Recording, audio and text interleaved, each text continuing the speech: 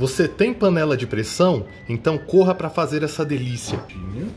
Ó. Pelo amor de Deus, Olá. serve, vamos. Vamos servir Sem muitas delongas, por favor. cheio no meio, né? Olha aqui, ó. Olha isso, gente. Na nossa panela vamos acrescentar uma xícara de chá de leite, uma colher de sopa e meia de amido de milho.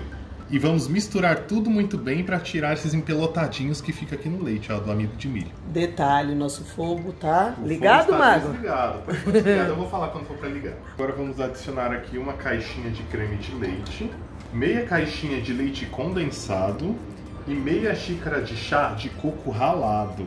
Como já começou a dissolver, então eu vou ligar o nosso fogo em fogo médio, tá?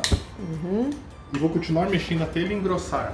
Tá pronto aí, Mago? Sim, ó, chegou mais ou menos nessa consistência. Bem firme, é, né? Tem que ficar bem firminho. Vamos deixar ela reservada, tá bom? E vamos preparar a massa da nossa sobremesa. Meia xícara de chá de leite, quatro unidades de ovos, duas colheres de sopa de manteiga bem cheias, tá? Uma xícara de chá de açúcar. Misturou um pouquinho, a gente já adiciona duas xícaras de chá de farinha de trigo, também já três colheres de sopa bem cheia de achocolatado em pó. E agora, com a ajuda de um fouet, vamos misturar tudo muito bem. Caraca, te deixei de castigo, a massa ficou lisinha. E aqui nós temos uma colher de chá de fermento químico para bolos. Olha só, chegamos no ponto da nossa massa aqui, olha como tá bonita. E aqui nós estamos com a nossa panela de pressão que já está untada com manteiga, tá bom? E vamos adicionar aqui no fundo papel toalha, tá? Isso, pega Ah. todo o fundo. E agora vamos preencher as paredes também da nossa panela, tá? Tá vendo, Ana, como Nossa, ficou? que bonito.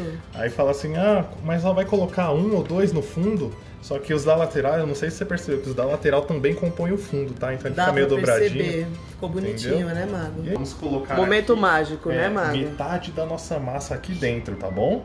Muito cuidado por conta dos papéis. No, no- no nosso creme, Todo cuidado. pegar todo o fundo. Uhum.